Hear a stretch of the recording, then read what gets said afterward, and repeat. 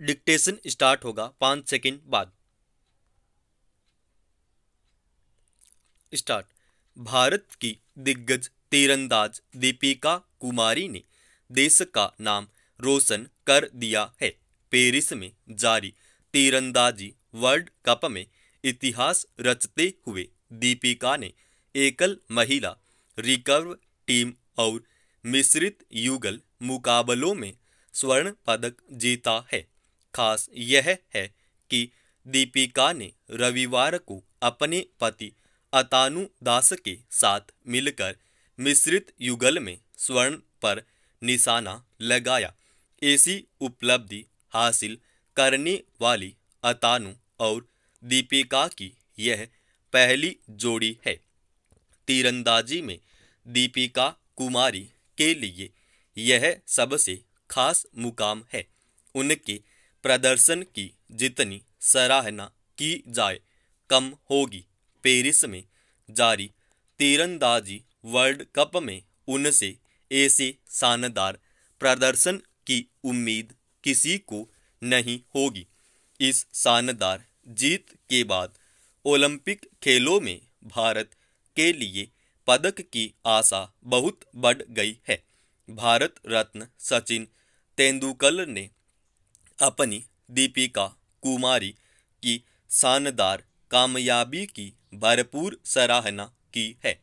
तो कोई आश्चर्य नहीं है, सचिन ने बड़े उत्साह के साथ कहा है कि पेरिस में दीपिका ने जिस तरह का खेल दिखाया है, उससे समझ आ गया है कि ओलंपिक खेलों के दौरान दुनिया को क्या देखने को मिलेगा।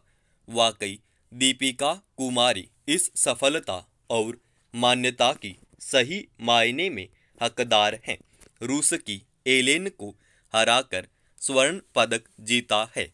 इतने भारी अंतर से जीत कोई तुक्का नहीं है। महिला रिकवर टीम स्पर्धा में दीपिका की अगुवाई वाले भारतीय दल ने मेक्सिको की टीम को पाँच एक से हराकर स्वर्ण जीता और मिस्र युगल में अतान और दीपिका ने होलैंड की जोड़ी जेफ वान देनबर्ग और को हराकर स्वर्ण अपनी झोली में डाला। तीरंदाजी की दुनिया में यह एक बड़ी घटना है, जिसकी खूब चर्चा हो रही है। दीपिका का नाम अंतर्राष्ट्रीय स्तर पर पहले से कहीं ज़्यादा चमक के साथ उभर कर आया है।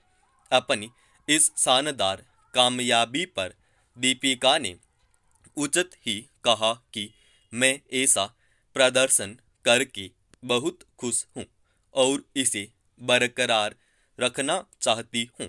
मैं इसमें और सुधार करना चाहती हूँ क्योंकि आगे आने वाले टूर्नामेंट्स मेरे लिए काफ़ी महत्वपूर्ण हैं। मैं जो सीख सकती हूँ, उसे जारी रखने की पूरी कोशिश करूँगी। दीपिका कुमारी की टिप्पणी से भी ज़्यादा प्रेरक टिप्पणी, उनके प्रति पति तीरंदाज अतानु दास की है, जिन्होंने कहा है, हम दोनों एक दूसरे के लिए बने हैं। मुझे लगता है कि इसी कारण हमारी शादी हुई है।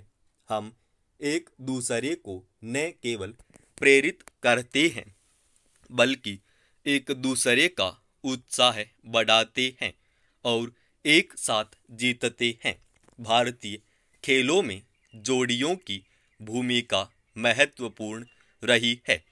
कई बार पदक तक का सफ़र खिलाड़ियों को अकेले ही पूरा करना पड़ता है, लेकिन जब किसी मज़बूत साथी का साथ मिलता है तो कामयाबी में चार चाँद लग जाते हैं। आज अगर अपने इस शानदार प्रदर्शन की बदौलत दीपिका दुनिया की नंबर वन तीरंदाज बन गई है तो इसमें अतानु दास की अहम भूमिका है। इस जोड़ी को ओलंपिक पदक के लिए सम्मिलित रूप से कोशिश करनी चाहिए। दीपिका से भारत की उम्मीदें बढ़ गई हैं। उन्हें दिलो जान से अभ्यास में जुट जाना चाहिए। पेरिस में उनके प्रदर्शन से लगता है कि यह समय उनके लिए अनुकूल चल रहा है। अतः उन्हें अपनी ताज़ा कामयाबी से आगे बढ़कर अगली प्रतिस्पर्धा पर फोकस करना चाहिए। वित्त मंत्री निर्मला सीतारमण ने सोमवार को कुछ और राहत उपायों की घोषणा की। ये उपाय विभिन्न क्षेत्रों को महामारी के कारण मचो उतल फुतल से निपटने में मदद के इरादे से घोषित किए गए हैं। सीतारमण ने इस अवसर का लाभ उठाते हुए कई अन्य सरकारी पहल को भी रेखांकित किया। देश के बड़े हिस्से में कोविड के मामले भी कम हो चुके हैं और इस वजह से राज्य सरकारों ने भी लोगों के आवागमन तथा अन्य गतिविधियों पर लगे प्रतिबंध शिथिल किए हैं। इसके परिणाम स्वरूप आर्थिक गतिविधियों में सुधार हुआ है, लेकिन कारोबारियों के लिए अनिश्चितता बरकरार है। यदि संक्रमण एक बार पुनः बढ़ा तो आर्थिक सुधार की प्रक्रिया बाधित होगी। इस संदर्भ में ताज़ा घोषणाएँ विभिन्न क्षेत्रों और कारोबारों को ऋण की उपलब्धता सुधारने पर केंद्रित हैं। प्रमुख घोषणाओं की बात करें तो सरकार कोविड से प्रभावित क्षेत्रों 1.1 लाख को रुपए की ऋण गारंटी बढ़ाएगी। स्वास्थ्य क्षेत्र में इसका इस्तेमाल आठ बड़े शहरों के बाहर स्वास्थ्य बुनियादी ढांचा विकसित करने में किया जा सकता है।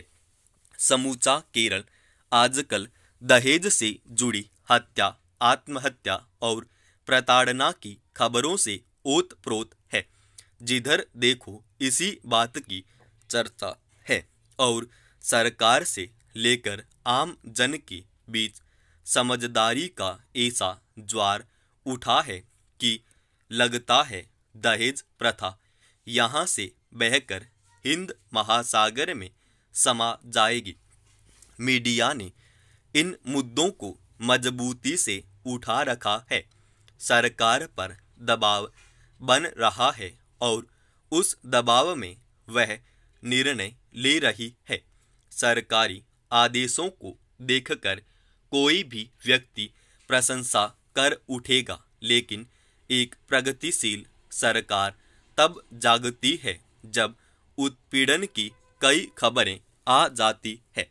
वह उस समय नहीं चेतती जब एक पति अपनी पत्नी को सांप से कटवा देता है या दुल्हन ऊपर से नीचे तक सोने से लदकर मंडप में पहुँचती है और राष्ट्रीय अपराध रिकॉर्ड ब्यूरो महिलाओं के प्रति हिंसा में केरल को काफ़ी ऊपर रखता है। आम तौर पर देखा जाए तो केरल एक आदर्श राज्य प्रतीत होता है। निकट इतिहास में हुई सामाजिक क्रांतियों, आधारभूत संरचनाओं और शिक्षा, स्वास्थ्य आदि की दिशा में किए गए सरकारी प्रयोगों के मद्देनजर जो केरल उभरता है, वह वाकई किसी भी राज्य को ईर्ष्या से भर देने में सक्षम है। हाल में आई नीति आयोग की रिपोर्ट भी इस बात पर मुहर लगाती है। फिर दहेज, हत्या जैसी प्रतिगामी चीज़ यहाँ क्यों है? समाप्त।